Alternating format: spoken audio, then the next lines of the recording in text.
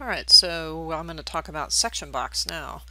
Um, we looked at 3D perspective and sections and elevations and plans, and now I want to take a look at how to create sections that are partitioned like this one.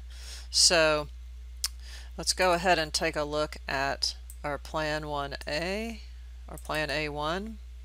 And basically what's going on is there are a series of sections that I have taken here and I have associated what's called a section box with those sections. So let's just talk about a section box really quick. So I'm going to go to my default 3D view here.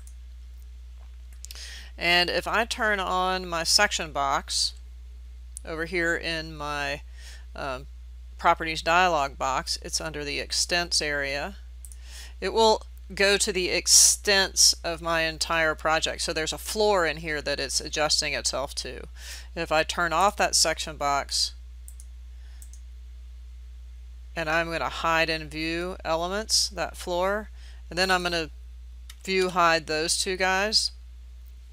If I now turn on my section box, it will adjust to that small piece.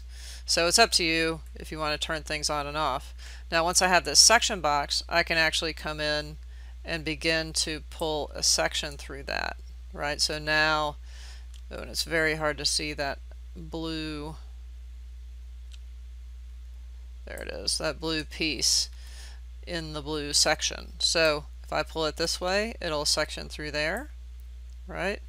And I can also pull it from the top and the bottom so you can section through your object or your your model very quickly.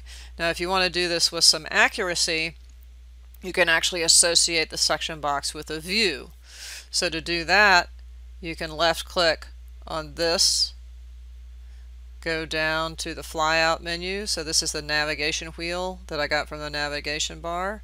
If I go to this flyout menu we go to orient to view suddenly all of your views come up and I can actually orient to view plan A1 schematic and it'll go into what looks like that plan view and I'm going to close this by left clicking on the X up here but it's a 3D view so if I double click on the top left corner or the bottom left corner of this view cube it actually takes me into that 3D view with the setting from the floor plan. Now if I go back and let's go to orient to view.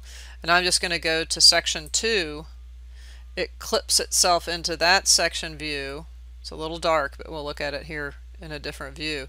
And I can do the same thing. Double click on it and it shows that section view. Now the the sun is coming from the top right.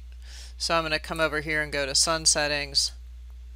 And I'm going to set that or actually it's coming it's being controlled by the uh, by the location I'm just going to go to lighting here and I'm going to do it from the top left and hit apply so you can kind of see how that's working right? So now I can actually spin around this in 3D and you can see that sort of section slice. Now that section slice is coming from section 2 which if I go to plan A1 this is section 2 right here I believe. Let me yes. So section 2 if I pick it is sectioning through this, the view range is sectioning right through this little area right there.